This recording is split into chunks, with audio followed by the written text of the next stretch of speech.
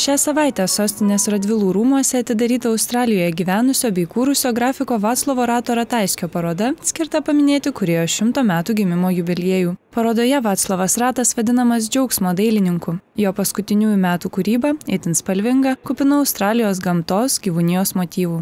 Šita salė tai yra paskutiniųjų gyvenimo metų salė, tai tikrai, kaip galime pasakyti, tikrai džiaugsmingiausias jo kūrybos etapas. Nežiūrint to, kad dailininkas maždaug septynerius metus labai sunkiai sirgo, bet jo dukra Ramona jam nesakė apie tai.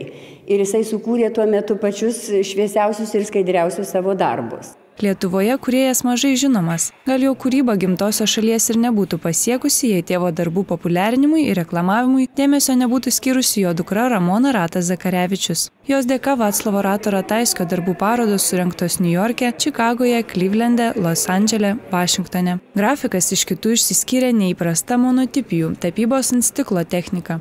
Jisai darė monotipijas. Ir jisai vienas iš pirmųjų Lietuvos dailininkų ir galvos ir netoks ir vienintelis, kuris naudojo spalvi, japonų techniką. Kažkaip jam padarė labai įspūdį, japonų paroda vykusi, matyti, Australijoje.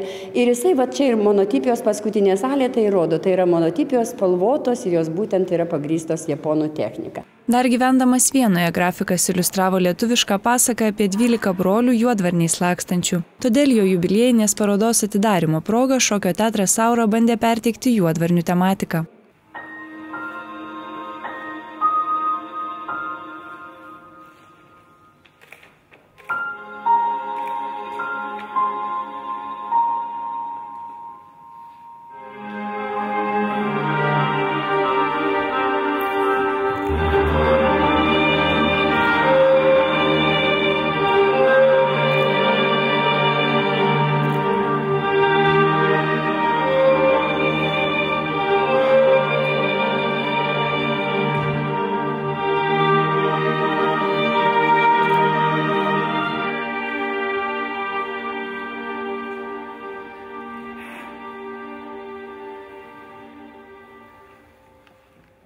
Australijoje grafikas Vaslavas Ratas populiarino grafikos meną, buvo vienas iš Sidnėjaus grafikos draugijos įkūrėjų. Jo darbų parodą lankytojai galės pamatyti iki rūpiučio pabaigos.